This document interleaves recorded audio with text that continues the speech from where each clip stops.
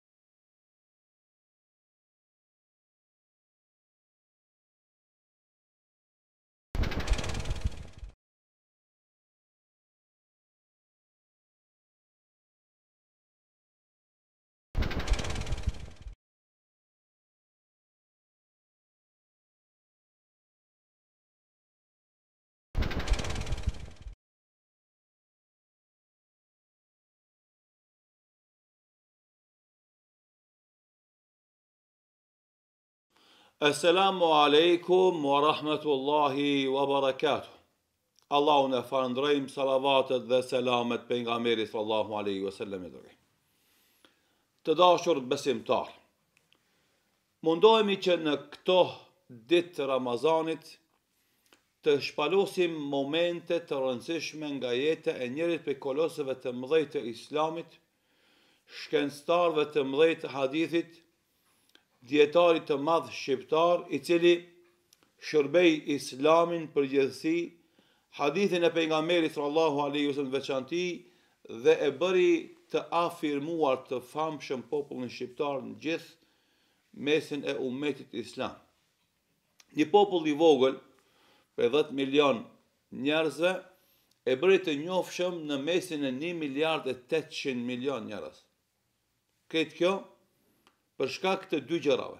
E para, dijes së madhe që kishte dhe angazhimit të jashtëzakonshëm që dha në shërbimin e shkencave të hadithit dhe dijeve islame në përgjithësi dhe Krenarisë së tij me faktin që është shqiptar. Është me origjinë nga tokat shqiptare, nga Shkodra e Madhe. Dhe krejt kjo, neve sot, si shqiptarë, si muslimanë, si nxënës të tij, si ithtarë të botëkuptimit të tij, na bën shumë krenarë. Dhe andaj këtë kënaqësi që e kemi ndjerë në të kaluarën, ne si nxënës dije në fillimin e kërkimit të dijes, duam ta rikthejmë edhe një herë në mesin tonë nëpërmes këtij serialit me Sheh Albanin rahimehullahu taala në Ramazan. Sot do të flasim për një çështje që është jashtëzakonisht e rëndësishme dhe të gjithë hoxhallarët duhet vazhdimisht ta kenë parasysh. E mos flasim pastaj për xhamatin. Cila është kjo çështje? Domethënë mosguximi i një hoxhe, i një dijetari të flet mbi fenë e Allahut Xhel-le Xhelaluhu pa dituri. Domethënë nuk ki të drejtë askush. Nuk ka të drejtë të flet për fenë nëse ai nuk ka dije paraprake mbi të, nuk ka të lexuar mbi të dhe nuk ka qëndrim të konfirmuar pas një hulumtimi, studimi dhe analize. Pse kjo? Sepse Allahu i Madhërishëm çka thotë, La tekfu ma lejse leke bihi ilm. Mos iu qas asaj për të cilën ti nuk ke dituri. Islami, madhështia e kësaj feje del në shesh mu në këtë fakt, që nuk lejon të flitet mbi fenë dhe mbi çdo gjë tjetër pa fakte dhe argumente. Krejt Islami është i ndërtuar mbi dituri, mbi fakte dhe argumente. Andaj jo rastësisht, ajeti i parë me të cilin filloi komunikimin Zoti i Madhërishëm me njerëzit nëpërmes Muhamedit sallallahu alejhi ve sellem ishte, Iqra, lexo. Dhe për këtë shkak, dijetarët musliman e kanë kuptuar shumë qartë këtë fakt. Dhe nuk i kanë dhënë të drejtë vetvetes që të flasin mbi fenë pa dituri. Andaj Imam Maliku rahimallahu taala çka tha kur elaboronte këtë fakt se ulemaja, hoxhallarët, dijetarët nuk kanë të drejtë të flasin mbi fenë pa e verifiku qëndrimin paraprakisht duke u duke e studiuar ose duke i hulumtuar argumentet fetare që flasin mbi te. Tha kështu Imam Maliku, Pejgamberi sallallahu alejhi ve sellem, Imami i muslimanëve dhe zotnia e mbarë botës, pyeteshte për gjëra,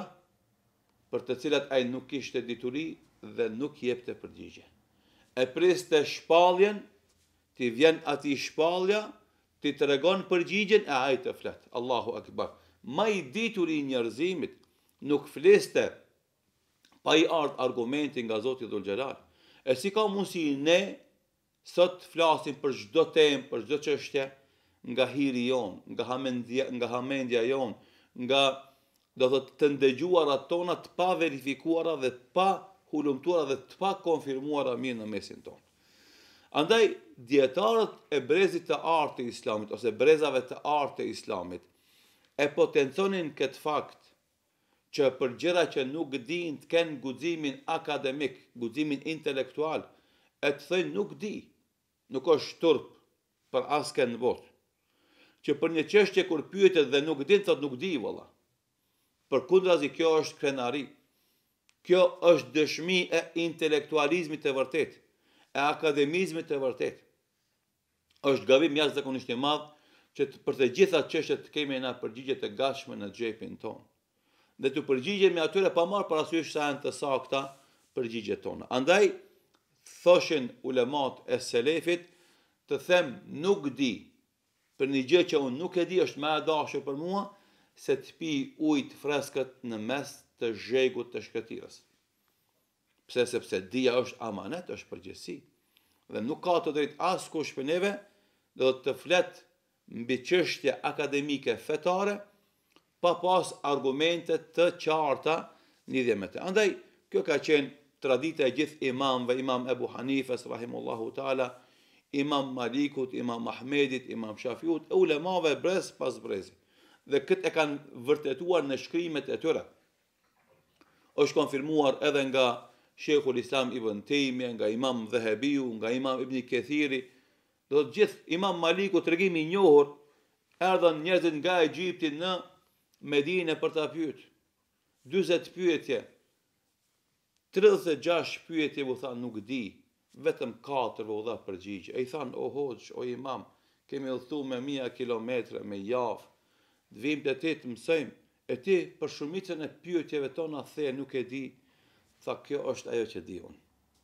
E ti nëse s'je i kënaqur me gjendjen time, dil edhe trego se Imam Maliku nuk din asgjë. S'është me rëndësi si më vlerëson ti mua, Sa është me rëndësi se unë këtë amanet që e kam marrë përsipër, sa ia jap hakun realisht edhe sa e keqpërdori pozitën e gjybes time, e çallmës time, shallit tim që i themi, ose emërtimit hoxhë, dijetar, alim, allame e kështu me radhë. Në krejt këtë drejtim ishte edhe Shejh Albani rahimullahu teala, i cili Do thotë çështjet që nuk i dinte ndalej në to.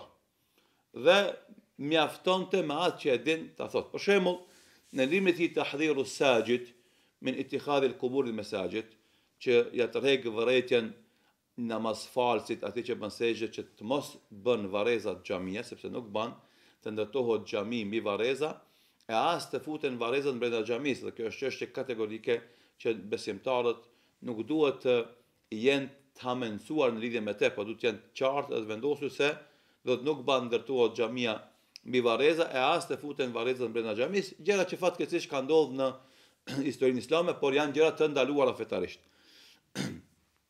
Kur flet për çështjen e dispozitës se atij që falet në një xhami ku ka varreza. Namazi i tij a është batil, i pavlefshëm, apo vetëm është gjë e ndaluar, sepse ka dallim mes të thënit është vepër e ndaluar dhe është ai namaz batil. Thotë kështu, thotë innal qawla bil butlani muhtamalun. Mendimi se namazi i atij që falet në xhami ku ka varreza është i pavlefshëm është me peshë. Thotë nuk mund ta them 100%, por është me peshë. E ai që ka dije shtesë në lidhje me këtë, le të urdhëron Na e jep këtë dije shtesë duke na shoqëruar edhe argumentin e ne paraprakisht e falënderojmë dhe lusim Allahun ta shpërbleftë. Shikoni, thotë unë deri këtu kam arrit. Ky është mendimi im. Nuk mund të them që namazi aty është krejtësisht i pavlerë. Po them që është një vepër e ndaluar ose e papëlqyer. Ama nëse dikush ka argument dhe dije shtesë, urdhëron dhe ta ofron, unë paraprakisht e falënderoj atë dhe e lus Allahun ta shpërblen atë. Kështu është dija. Do të thotë ne flasim me atë që e dim dhe lëm hapësirë për ta plotësuar këtë qëndrimin tonë, këtë mendimin tonë edhe të tjerët me dijen e vet që kanë. Sepse mbi çdo të ditur ka edhe ma të ditur, kjo është rregull. Askush prej neve nuk duhet me pretendu, me supozu, me mendu se është ma i ditshmi në botë, ma i ditshmi në mesin e shqiptarëve, ma i ditshmi në mesin e hoxhallarëve, etj. Jo, jo, krejt na dimë diçka edhe shumë gjëra tjera nuk i dimë. Andaj duhet me lënë hapësirë që edhe ne të tjerët të plotësojmë njëri-tjetrin me dijet që i kemi. Gjithashtu, në librin e tij po ku flet për një çështje, thot in Allah Taala ala ma yasha'u qadir për një frazë se Allahu i madhërishëm është i gjithëfuqishëm për atë që don ta bëjë. Në fund të studimit të kësaj fraze, thot kjo është dija që e kam unë. Nëse ja kam qëlluar, kjo është nga Allahu. E nëse kam gabuar, kjo është nga mangësia ime, e unë kërkoj falje te Allahu subhan nga çdo mëkat. E kush ka dije shtesë, le të urdhëron, të na e tregon, ne jemi mirënjohës dhe falënderues paraprakisht për të. Shikoni, Do të thotë çfarë sinqeriteti, çfarë kujdesi që të mos e jep fjalën e fundit për gjëra që akoma ka hapësirë për mendime tjera dhe shtesë. Nxënësi i tij, Sheikh Isam Hadi, Allahu i dhashtë shnet dhe ymër, thotë kështu, një ditë prej ditëve e pyeta Sheikh Albani rahimullahu taala për një meselë. Tha vallah nuk e di.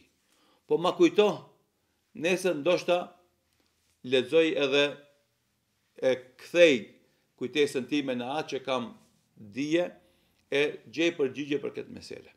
Thot nesër kur u takuam përsëri e pyeta, tha vallah jo, ala nuk kam përgjigje, adekuate për pyetjen tënde. Do thotë nuk është rand, nuk është marrë, nuk është gabim kur nuk din ti me thonë, nuk di edhe pse ki pozitën e dijetarit të madh në rang botnor.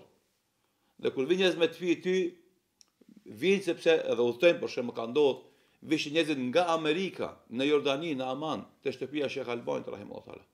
Udhtojnë domethënë me 10-15000 kilometra. Po edhe pyet ndonjë pyetje që ti nuk e din, nuk është rand, as turp, as gabim, me thonë vallahi nuk e di. Ama kemi udhëtu, ke udhëtu po. Nuk muj unë ta kaloj amanetin që e kam marr prej Zotit Dhul Xhelal. Gjithashtu për shembull, kur e kanë pyetur Sheikh Albani rahimahullahu për problemin e banknotave dhe shkëmbimin e banknotave ose valutave, Thotë kështu, Është prej problemeve bashkëkohore me çështje domethënë problematike prej çështjeve fikhore bashkëkohore dhe dua që këtë temë ta kisha hulumtuar bashkë me hoxhallarët e Arabisë Saudite, sikurse është Sheikh Ibn Bazi rahmet i pastë shpirti, sepse është një mesele që kam nevojë për ndihmë, për debat me hoxhallarët për ta kuptuar mirë problematikën dhe për të dhënë përgjigje të qartë në lidhje me të. Subhanallah sinqeritet, devotshmëri, mungesë do thot e avanturës. Sot ne shpesh na ndodh hoxhallar të ri që me vështirësi e kanë kry një fakultet, edhe shumë pak kanë lexuar tema të ndryshme. Kur dalin dhe shfaqen probleme bashkëkohore të reja, kanë një guxim jashtëzakonisht të madh për të dhënë përgjigje. E lexon një përgjigje të dikujt prej hoxhallarëve dhe e kopjon atë dhe e ndërton qëndrimin e tij mbi të nëpërmjet atij leximit. Ka dalë. Çështja është bashkëkohore, është aktuale, është akoma e paqartë për shumë hoxhalla, për shumë qendra akademike, madje edhe për vetë biznesin. Nuk ki nevojë me nxitu dhe me, do thotë, përshpejtu për të dalë me qëndrim. Më mirë është të ngadalësosh edhe të ngelesh vonë me qëndrim sesa të nxitosh e pastaj të bindesh se ka qenë qëndrimi jot i gabuar. Dhe këto shembuj nga jeta e Sheh Albanit rahimahullah teala na tregojnë se me të vërtetë ky dijetar i madh ka qenë një të, një pasues i denj, i sinqert, i vërtet, i atyre kolosëve të mëdhenj të islamit të shekujve të artë. të cilët dijen nuk e kanë pas për të fitu famë, dijen nuk e kanë pas për të ndërtu karrierë, dijen s'e kanë pas për të ngrit emrin e tyre, po dijen e kanë kuptu si një mejdan i adhurimit t'Zotit dhe një mënyrë për t'ja sqaruar njerëzve gjërat e domosdoshme në lidhje me fenë që ata të bëhen adhurues të vërtetë dhe të saktë të Allahut subhanahu wa taala. që adhurimet e tyre të jenë t'sakta dhe të jenë të pranuara te Allahu Dhul Xhelal, assesi për ta ngrit emrin e tyre, dhe saqë nëse vjen muhabeti me thonë nuk di për një çështje, është shumë e lehtë për ta, sepse normalisht askush prej njerëzve nuk i din të gjitha çështjet në jetën e tij. Kjo është, ky është Shejh Albani. Ky është modeli që duhet ta ndjekin hoxhallarët. Ky është modeli të cilën duhet ta kemi ne parasysh vazhdimisht në jetën tonë dhe për çështje që nuk dimë, do thotë të mos kemi turp e as vështirësi themi nuk di vëlla. Dhe tjetra të mos nxitojmë për çdo çështje të japim përgjigje. por t'i japim vetes hapësirë të lexojmë shumë ma shumë, të analizojmë shumë ma shumë, të konsultohemi shumë ma shumë me hoxhallarë e pastaj të dalim me qëndrime, të cilat qëndrime do të jenë e para të sinqerta karshi Zotit, e dyta të mbushura me dije akademike fetare, argumente nga Kurani dhe nga Suneti i pejgamberit sallallahu alaihi wasallam dhe nga rregullat e njohura të usuli fikhut e fikhut e kështu me radhë, dhe e treta të jenë të dobishme për xhematin të cilit ja tregojmë këto qëndrime, të të mos jenë ato që krijojnë destabilizime, shqetësime, do thotë janë të përshtatshme për një grup të vogël edhe janë të damshme për të gjithë besimtarët, pra me këtë pikënisje të mos bohen, por të jetë thjesht sinqeriteti, dituria dhe dobia, parimet mbi të cilën na e ndërtojmë qëndrimin tonë dhe pastaj e përhapim atë me urtësi dhe me fjalë, domethënë të zgjedhura që nuk lanë hapësirë për keqkuptime. Pra, kjo është shejh, ky është shejh Albani, rahimehullahu taala dhe do të mosguximi i tij për të dhënë përgjigje për çdo çështje pa e ditur mirë atë. Ama kur ka argument, kur ka fakte, kur ka studim, kur ka konstatim, atë normalisht e mbron me gjithë dijen që ka sepse është qëndrim i ndërtuar pas një mundi angazhimi dhe lodhje.